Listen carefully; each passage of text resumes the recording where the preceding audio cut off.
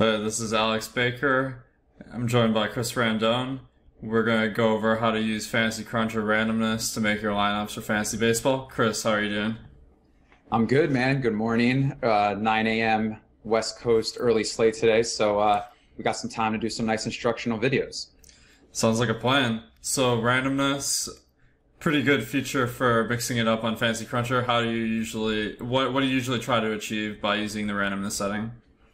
So, uh, you know, randomness for me, it kind of adds a variable to the range in the analysis um, to each projection. So basically, what I'm looking for here is I'm looking for some more accurate lineups that also show some uh, different variations. Maybe different variations that I wouldn't have looked at, and also it helps not all my lineups be the same, which is very important. Absolutely. And I think the randomness is more what you see in an actual game where you can make your best projection, but the actual results could be far different almost all the time. And randomness kind of accounts for that. It creates a random outcome that could potentially happen on a, on a night. And then it optimizes your lineup based on that outcome. So I got yesterday's slate pulled up here on Fantasy Cruncher Rewind, a very useful tool. Okay. Um, so what, uh, the way you set randomness, you just go to advanced options. Uh, you can choose either classic randomness or the, the new randomness with Fantasy Cruncher Pro. And uh, the difference is the classic randomness gives an even probability of all the outcomes within the range. Normal is centered around a bell curve. So if you say um, you have a projection of 20, the randomness is 100 then uh, five out of six outcomes are going to be between uh, 50% of the projection and 150%. And then those tail ends are going to be a little bit less likely to happen. So that's more uh, analogous to what actual result probability would look like compared to just totally randomizing it. So have you gotten a chance to try out the new randomness? Yeah, yeah, I have. And to be honest with you, it really helps open up your eyes to your analysis even more. And it's just like you said, you, you definitely want different variations of lineups, uh, especially when it comes to either stacking or doing multi entries. Um, the more you kind of stick together with the same similar type of lineup, uh, you really hurt yourself because you're only looking for just basically a small amount of plays to go off and if that doesn't work into your favor, uh, it kind of ruins your your day for the slate. So having the randomness tool allows you to put yourself in a position of seeing a lot of variations of lineups, which then gives you the ability to maybe notif- notice someone that maybe got put into a lineup that you didn't look at before. That helps you kind of hone in on that uh, and kind of do some more research on that particular player. Absolutely. You're not going to see a lot of contrarian lineups or contrarian players end up in your lineup unless you use randomness. And those are players you're going to need to win. Those one percenters that go off. There's going to be at least one every day. Exactly. So I got a tool from Dave, the creator of Fantasy Cruncher. And, uh, what this does is it demonstrates the difference between the classic randomness and the new normal distribution. What I found is that with the new normal distribution, you need to set randomness much higher than you used to. And what I, before I would set randomness like 25%. So I'll, I'll simulate that. What you see is, um, with the old randomness, wait, uh, you end up with a pretty even distribution from 15 to 25. But with the new randomness, most of the lineups, uh, it simulates between 18 and 22. So uh, if you want to really mix it up and get most of the lamps between 15 and 25, you pretty much have to double it. Uh, even more than double it. So I said 50% randomness and now I'm between mostly 16 and 24. So about 2.5 times the old randomness if you've been a long time user of Fantasy Cruncher. And uh, the way that Fantasy Cruncher calculates the new normal distribution, if you're familiar with your stats, is it takes half of the randomness percent. So right now I have a projection of 20, standard deviation of 10. Well, actually, uh, ignore that. So uh, the randomness is 50. So uh, 50% of 20 is 10. And what a fantasy cruncher does with the normal distribution is it sets the standard deviation to 5. And then it simulates uh, potential lineups using the inverse normal function. And uh, if you if it goes beyond two standard deviations, it just caps it at two. Right. So Now, now help, help people understand why that difference is so important when using that specific feature. So I think this more accurately creates real results that could happen. And uh, so if you have a picture of 20 projections, say like Strasburg today, most of the time he's going to get in between 10 and 30. Um, it's going to take a, a lot of luck one way or the other for him to go beyond that range. And the closer it is to the projection, the more likely it is going to be to happen. So this really, if you set the standard deviation or the randomness to equal the true standard deviation of the players, what you're doing is you're creating a real outcome that would win the slate if it happened on that day. Right. You- You're giving yourself the best shot at putting together the highest possible scoring lineup, which which is something where if you're not putting yourself in that position, you're more than likely just going to be in the middle of the field compared to a lot of other teams who probably have the same teams as you. So giving yourself that ability to have more randomness allows you to really separate yourself to have different contrarian plays that a lot of people might not be on, which helps increase your potential of taking down a tournament. Absolutely. I think there's so much randomness in sports, especially baseball. If a guy is a millimeter off of uh, the target, it's going to be a flyout, not a home run. So it's just like the the perfect lineup every day is just like the most random players you can think of, and uh, when you generate a lineup using a lot of randomness, that like lineup on that day where I ran the simulation would be the winning lineup. So Right. if you generate enough, then you kind of get a diverse range of outcomes that could, uh, if you're entering more than one lineup, that's gonna, like, it simulates 150 different days basically, and on each of the days, this different lineup would win. Right. So, let's run a crunch here. Uh, first, I'm not going to use randomness. This is yesterday's slate. Okay. and what I'm seeing, I'm getting 100% of a lot of players. Kendrys Morales, Mhm. Gerrit Cole, Starlin Castro, Max Scherzer, all 100%. And uh, if uh, if anybody played the slate yesterday, they're going to know that lineup probably wouldn't turn out that good. Gerrit Cole got eight points. I had him projected for 26. Yep. Uh, Kendrys Morales got three points. These are some serious duds. Mm-hmm. So let's uh, let's run a, a crunch with a little bit more randomness here. Okay. So you gotta uh, turn on the randomness feature and then decide the percentage. Uh, let's do one with the classic randomness. I'm gonna set it to 25%. So now we're still seeing a lot of players with really high uh, percentage owned.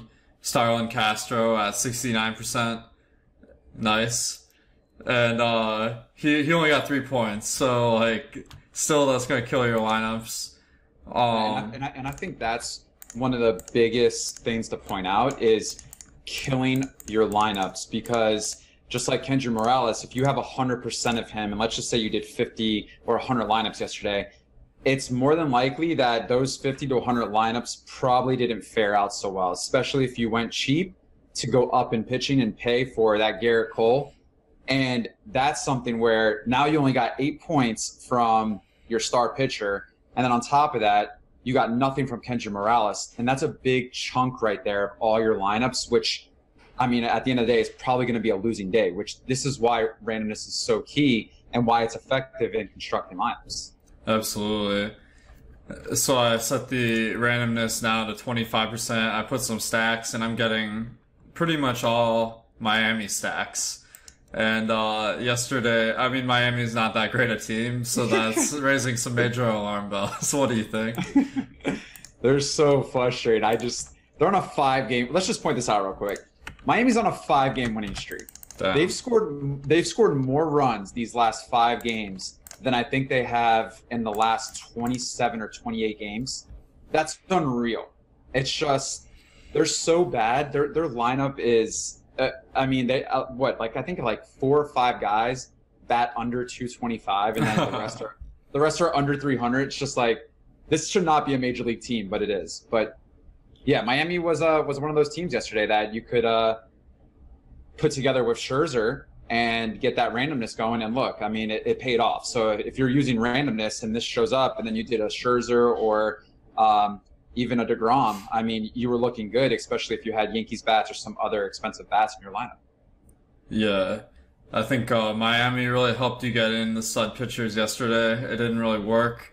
It's not the strategy I'd recommend. So um, what I'm doing now is I, ra- I ran a crunch with 65% randomness classic. Now I'm only getting 40% Miami stacks, and uh, I'm getting a nice mix of other stacks. But now let's switch to the normal distribution randomness. I recommend setting this to 100 uh, for baseball. For my, uh, I've only ha- I've been using it for a week, but uh, that's what I found to be kind of effective.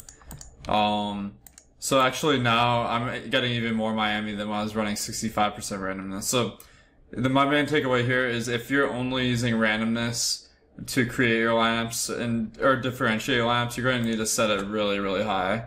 So I'm going to, I'm to go up to 150% here and see what kind of results I get.